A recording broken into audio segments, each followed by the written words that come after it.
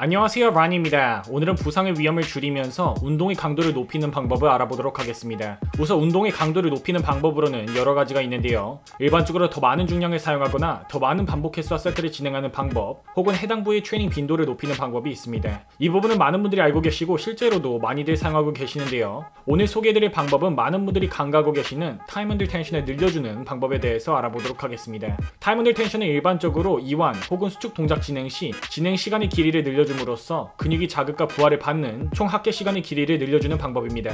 이로써 상대적으로 동일 중량, 동일 반복 횟수를 진행하더라도 더 큰 자극을 근육에 전달할 수 있게 됩니다. 그 말은 즉슨 상대적으로 적은 중량과 반복 횟수로도 더 큰 자극을 가져가는 것이 가능하기 때문에 관절이 받는 부담은 줄이고 부상의 예방 혹은 컨디션이 좋지 않을 때 안전하게 운동의 강도를 높이는 한 가지 방법이라고 말할 수 있습니다. 밀기 동작에서 time under tension을 늘려주는 가장 기본적인 방법은 폭발적으로 1초 수축, 이완은 느리게 3초 이완을 가져가는 것입니다. 이때 pause를 병행한다면 반동의 최소화와 함께 더 많은 자극을 해당 부위에 가져갈 수 있다고 합니다. 이와 같은 방법으로 마인앤머스 커넥션의 강화에도 굉장히 큰 도움이 되기 때문에 평소 자극을 잡기가 어려우신 분들은 꼭 이렇게 진행해 보시는 것을 추천드립니다. 세트 종료 후 FST7과 비슷하게 해당 부위를 쥐어 짜줌으로써 근육이 자극을 받는 시간을 추가적으로 더 늘려줄 수 있다고 합니다.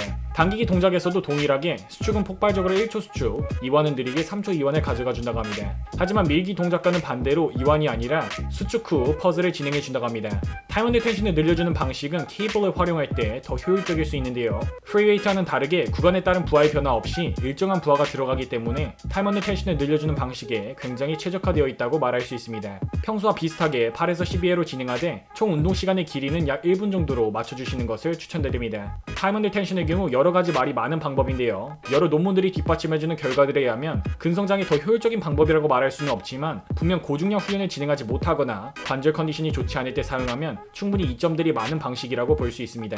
실제로 여러 연구들에서는 time under tension에 따른 근성장의 변화는 일반적인 고중량 훈련과 비슷했다고 알려줍니다. 몇몇 경우는 빠른 템포의 고중량 훈련 시 근력과 근성장에 더 유리한 경향을 보였다고 알려줍니다. 따라서 가능하면 대부분의 운동은 중량감 있는 운동을 진행하는 세션들로 구성하되 언급된 몇 가지 경우들 고중량을 사용할 여건이 안 되거나 부상을 당한 경우 혹은 관절이 좋지 않을 때 time under tension을 늘려주는 방법을 사용함으로써 부상 예방과 근성장 모두를 가져갈 수 있을 것입니다. 이번 영상의 내용이 도움이 되셨다면 구독과 좋아요, 알림 설정 부탁드립니다. 혹시 퍼포먼스 향상을 위한 부스터 음료가 필요하신 분들은 Gorilla Bomb에서 라니 할인 코드를 입력하시면 전 제품 20% 할인 받으실 수 있습니다.